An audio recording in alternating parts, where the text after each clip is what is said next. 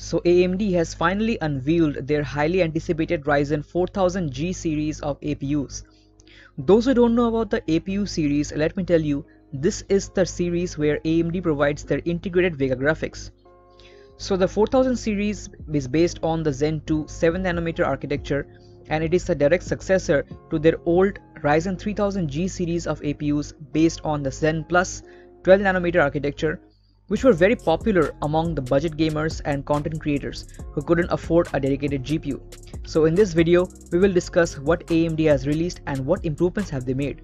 What's up guys, Deeptesh here and cut your hair short so that you can avoid the barber as much as possible.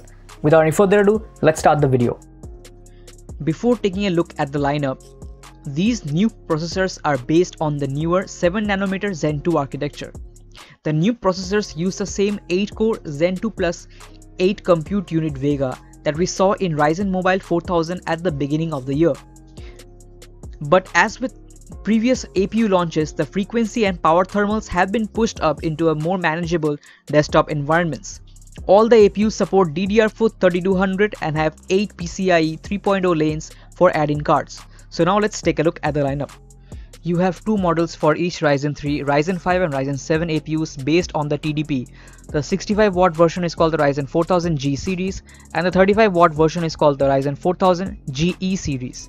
So across the board you have a lot of improvements. As you can see the Ryzen 3 has been updated to 4 cores and 8 threads, Ryzen 5 to 6 cores and 12 threads and Ryzen 7 to 8 cores and 16 threads. Also the base and boost clocks have been boosted quite a lot. You can see 4 GHz for Ryzen 3 and 4.4 GHz for Ryzen 7.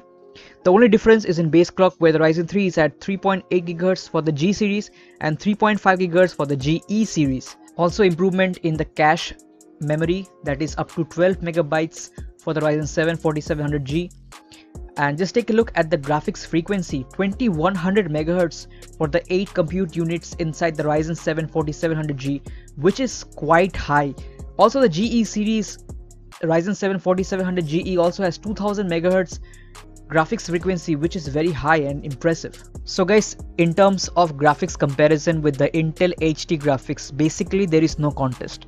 The Vega graphics inside the Ryzen 4000G series absolutely destroys the Intel HD graphics. So much so, just take a look. Someone has managed to overclock the Vega 8 integrated graphics of the Ryzen 7 4700G to 2.4 GHz and now it can match dedicated Nvidia GTX GeForce 1050 inside 3D Mark Firestrike which is absolutely insane. Also, it seems like the new APUs can be overclocked much higher as you can see someone has been able to overclock the Ryzen 7 4700G to 4.96 GHz across all its 8 cores without using any LN2 for cooling which seems really good and it's a good news for enthusiasts who like to overclock a lot. Here are a few benchmarks that was provided by AMD and obviously take these benchmarks with a grain of salt as these benchmarks are yet to be proven by reviewers. However, one thing is for sure the integrated Vega graphics of uh, these APUs really destroys the Intel HD graphics so that is for sure. However, the rest of the things you can take with a grain of salt as these things are yet to be proven. So the numbers look promising but let's patiently wait for the reviews to come out.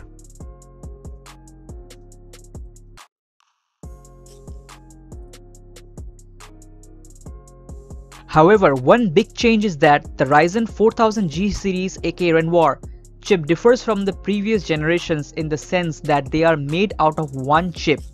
Thus it holds 8 cores not separated into a 2x4 configuration. Because all the cores are physically on the same chip and fall within one single CCD, the latencies between the processors are low and more consistent compared to multi-core complex units like the ones you find inside the Ryzen 5 3500 or the Ryzen 5 3600 and all. So hold on, everything is fine, everything sounds fine, everything looks fine, benchmarks are great. So let's just go and buy one. Hold on, wait a second. AMD states that the initial release of Ryzen 4000G hardware is for OEMs only, like Dell and HP for their pre-built systems. AMD clarified that the market for its APUs is skewed very heavily towards big mass market pre-built customers like HP and Dell, rather than custom home builds. The numbers quoted were around 80% of all APU sales end up in these systems and by working with OEMs only, AMD can also help manage stock levels of the Renoir silicon coming out of the fabs between desktops and notebooks. Right now though AMD has promised that they will launch consumer grade release of these uh, APUs but at the moment we are not sure whether it will be the same APUs that they launched in the Ryzen 4000 series or something else. It's just that we have to wait and watch. However, if you ask me, I am kind of confident that AMD will launch the same CPUs, I mean the same APUs, Ryzen 4000 APUs for consumers like us who want to build their own systems. So I'm pretty positive that they will launch these APUs but at a later date.